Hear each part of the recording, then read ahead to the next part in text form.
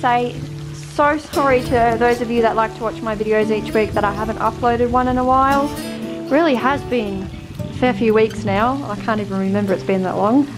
Um, but yeah, I'm back now and got lots going on in the next few weeks. So thank you so much for your support and encouragement. Simply watching these videos I upload makes my day and it is nice to know that Books, Dresses and Teacups has regular visitors. Through comments and communications about the things that I upload, whether that be in the comments below or chatting to me in the real world, RC and Jenny, it really does make you a big part of this channel. So thank you so much for being here. It has been a while since I have uploaded because I have been pouring all of my energy into either going to work or video editing. Megan and I are looking for a butterfly adventure while trying to, not often enough though, to help mum organise her house since the renos are almost done. That's for another day. So yeah, if I'm not at work, I'm on my parents' couch, in my pyjamas, wearing my purple headphones, only ever resurfacing for tea, food, and to join in on one of their arguments, or if something grabs my attention on the TV. And on weekends, I'm on that, well I was, on that couch morning till night. Nah, more like midnight till early hours of the next morning.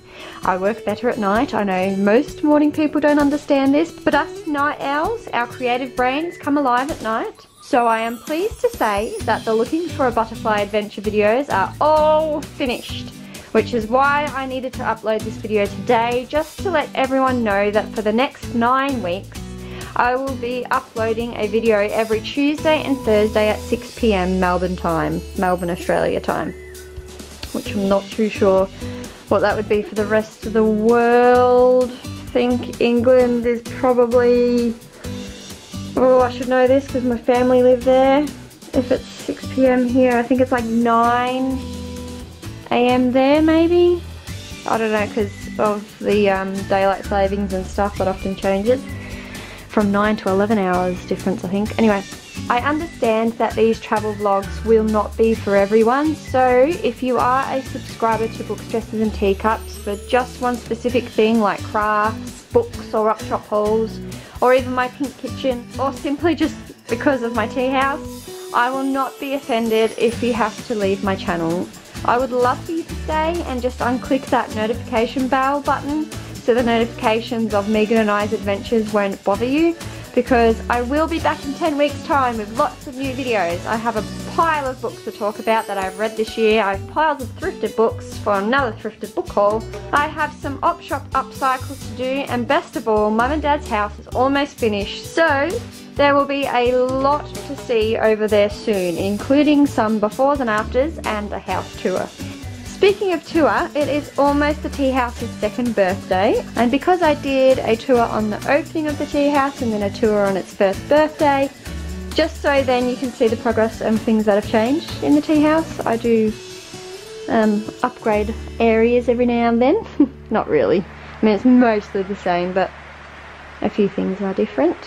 So I will be doing another tea house tour soon. I might miss Halloween with all these videos going up, but I will also be giving that spider Oreo cake another go.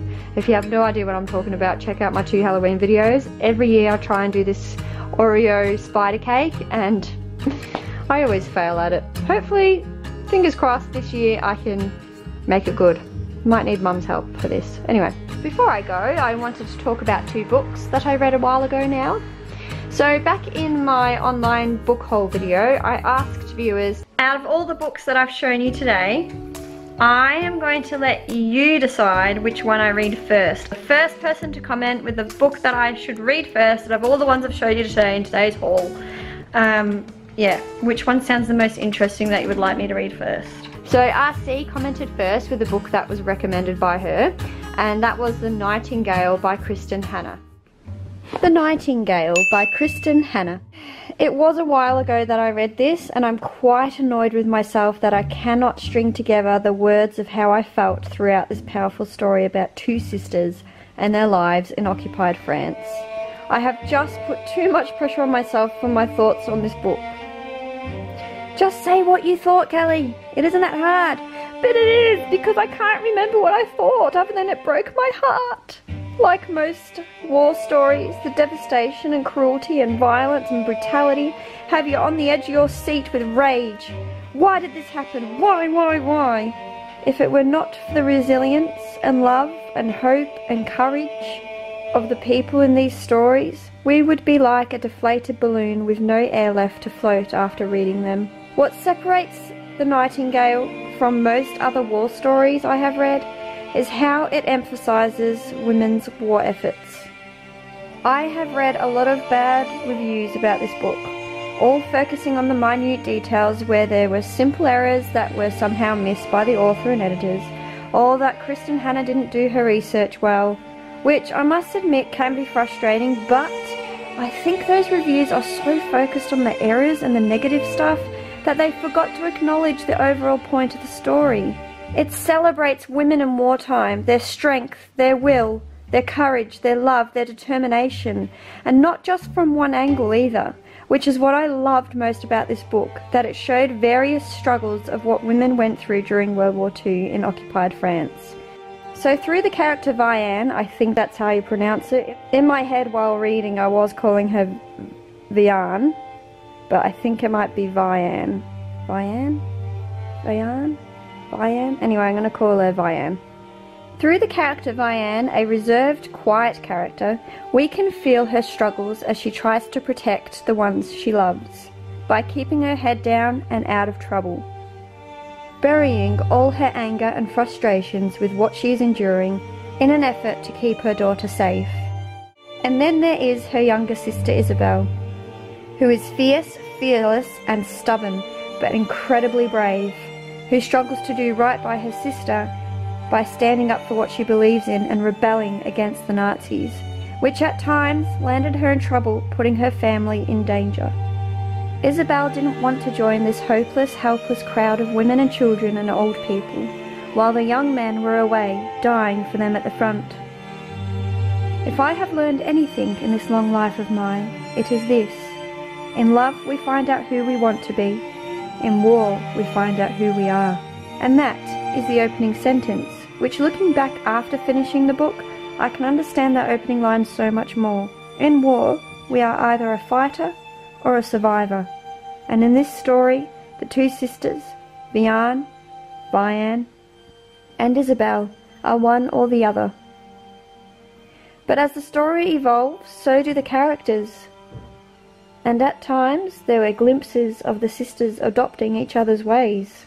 Amidst all the horrors of this World War II story is the ambivalent love between two sisters. Sisters who are so diverse in character that it caused friction between them. But through war and terror, the sisters find their love is their biggest strength. Isabelle's fiery heart reminded me of a historical figure whose story is one of my favourites, Nancy Wake, the woman the Nazis called the White Mouse. The Nightingale by Kristin Hannah may be a piece of fiction, but it represents women like Nancy Wake and their bravery and determination to make a difference and to resist the forces of evil.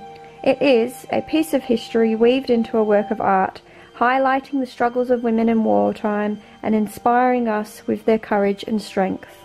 So thank you RC for recommending that book to me. I am actually excited for my mum to read it. She's in the middle of reading Robbie Williams' biography at the moment, or autobiography, whatever it is. Um, so after that, I am going to tell her to read this one. Thanks, Rach.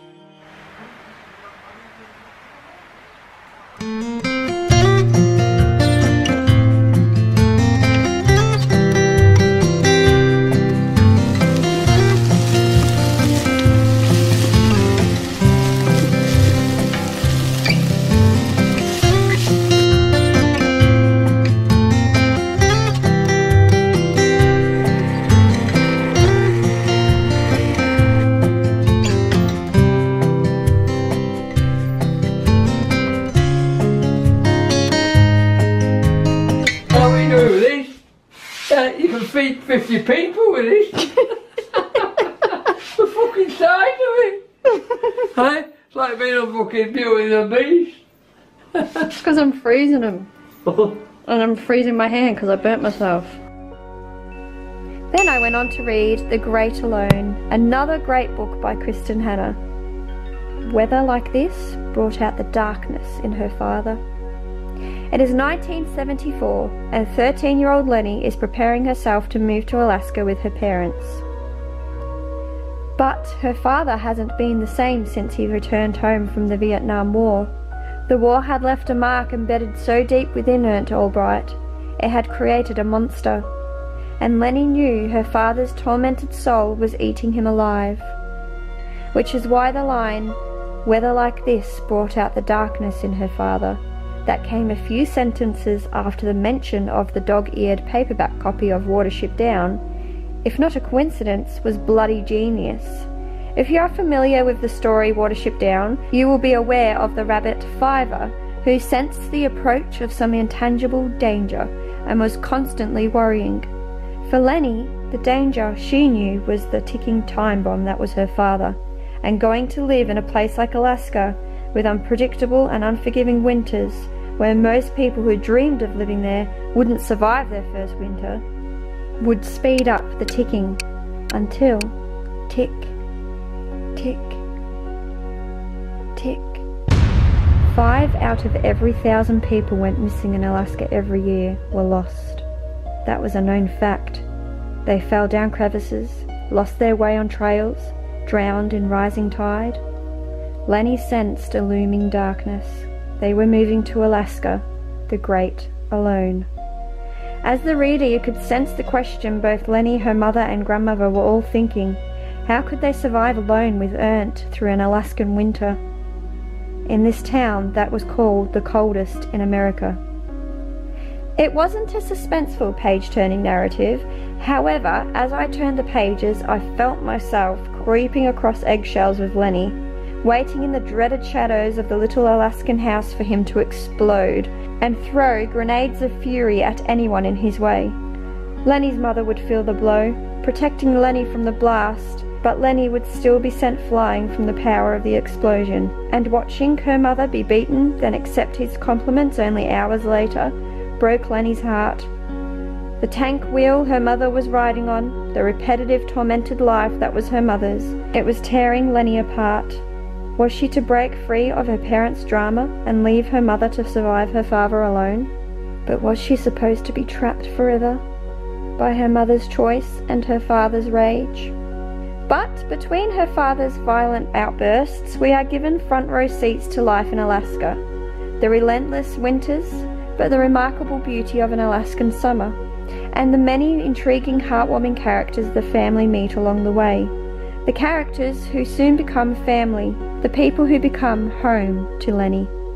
And then, of course, a friendship that blossoms into something so much more. I think this story left a little imprint on my reading soul I have never visited Alaska, but reading this book has left me feeling like I have. They say travel broadens the mind. I believe that to be true, but I think a book containing a powerful story can send you around the world and back again from your own couch, making you feel as though you have lived it. This book is brilliant. $2 from the op shop, well spent. yeah, so there is nothing else much to report since I've been really flat out with video editing and work.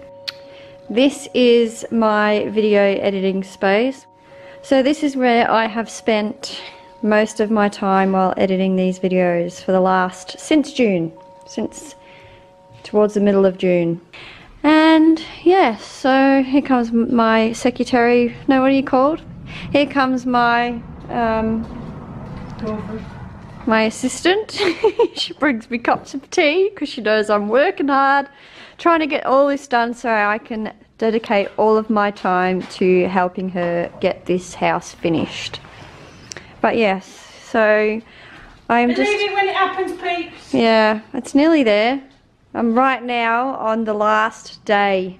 Currently editing day 20 and 21, which is going to take two days because of the amount of scurrying back into previous videos and, you know, all that palaver. A lot of, a lot of um, little edits in this one, little cuts and trims and sticking things in and I'm living like a grot.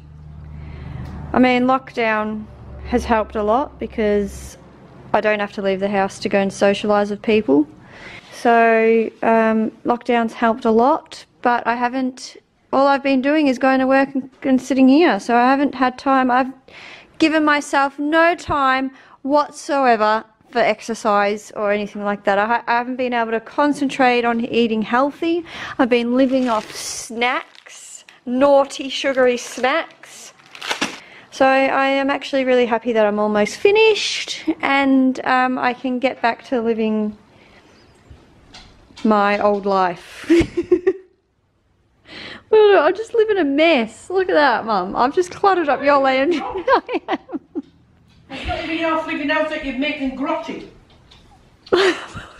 I'm usually a neat and tidy person, but when I'm dedicated to something like a massive project like this, I don't care about anything else. All I'm doing is I'm in the zone, unless I get distracted by MrBallen on YouTube. And I've been sleeping on that, sleeping on that manky old mattress right in front of the That's not a fire. mattress, that's a mattress. It's just you and the dog make the bloody sheep monkey. Hey, not me. I'm not that grotty. I know that I haven't been taking good care of myself because I'm too busy in there, but I'm not that grotty. Yeah, it's the dog.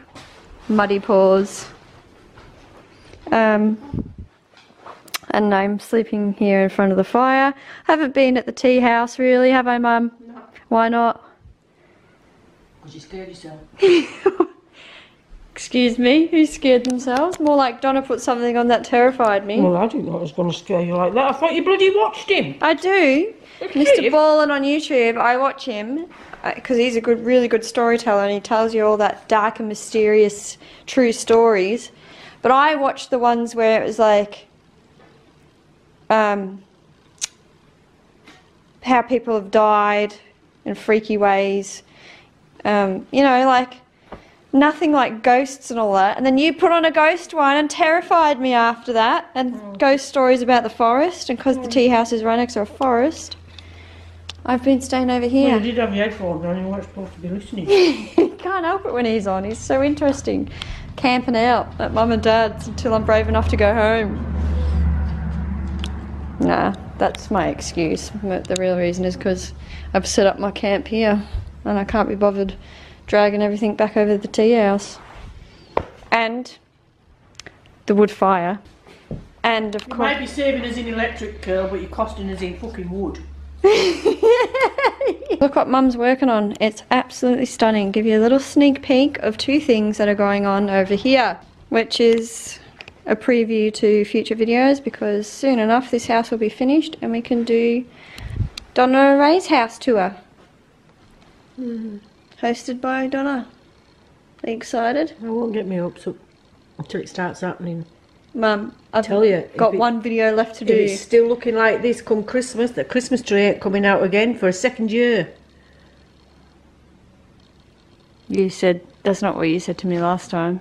You said if you're not done by Christmas, oh, you're getting rid of all your Christmas decorations. No, No, you won't. You're not going to get rid of the Christmas decorations Heather got you. no, it's not the sentimental ones, but everything else will go. No, it won't. Point in having them No. you can't get them out because your house looks like this. It's not going to look like this forever. But it feels like forever, Kelly. I know it does.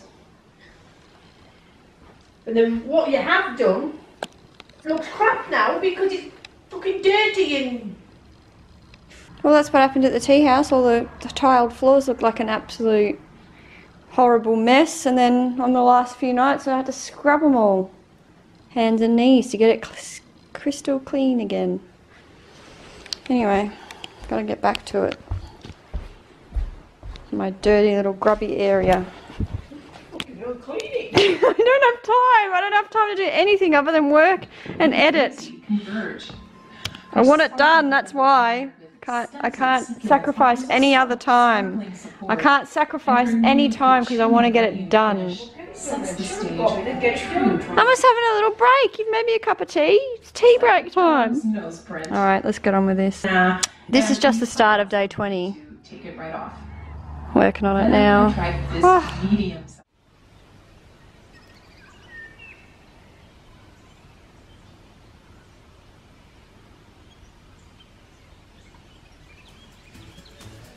Oh, I did get a bit addicted to um, watching the YouTuber MrBallen while editing videos on the couch at mum and dad's. The first few I watched weren't very scary, but once mum started watching all the ghostly and creepy things in the forest ones, I couldn't help but listen which I shouldn't have been listening but couldn't help myself while I was on my laptop. Well, I have been terrified of the night ever since. Still trying to get over it. I have been sleeping at mum and dad's house until the fear fades. Living in the middle of nowhere next to a forest hasn't helped the situation. But if you are a fan of the dark and mysterious, MrBallen's true creepy stories are for you. But if you are likely to get scared like I do, I will not recommend him as I am still suffering the consequences myself. Sometimes my curiosity does me no good. Anyway, I hope you are all well and staying safe and we'll see you again very soon with the Looking for a Butterfly adventure, which I'm really excited for. I'm just so excited for you all to come with us on this epic quest. I have turned Megan and I's Northern Queensland adventure, seriously, into a series, and each episode has been the most fun to put together and bring to life, even though it has taken an incredibly long time. June, July, and it's now August. Nearly two and a half months it's taken me. But they were really worth every minute, especially now that I have stepped up in the creators world and now have a subscription to use music that isn't just from YouTube Audio Library. Don't get me wrong, YouTube Audio Library does have great music. Yeah, I just needed something new. I was tired of always using the same music for my videos. And having Epidemic Sound with thousands of songs and sound effects, it made the editing process so much fun. If it were not for that, I wouldn't have felt as inspired as I did to put these videos together. And now they are done and I'm so happy to have them always to look back on and for others to maybe enjoy too. I will warn you, there is lots of swearing that happens every now and then. Megan and I can't seem to help ourselves when we are together and on one of the days I couldn't even sugarcoat it because we would lose the authenticity of the story of that day. You'll know what I mean when you see it. Um, yeah, so thanks everyone. Um, see you soon. Well, you will see me and my childhood buddy Megan. See yous. Thanks for watching. Bye. And.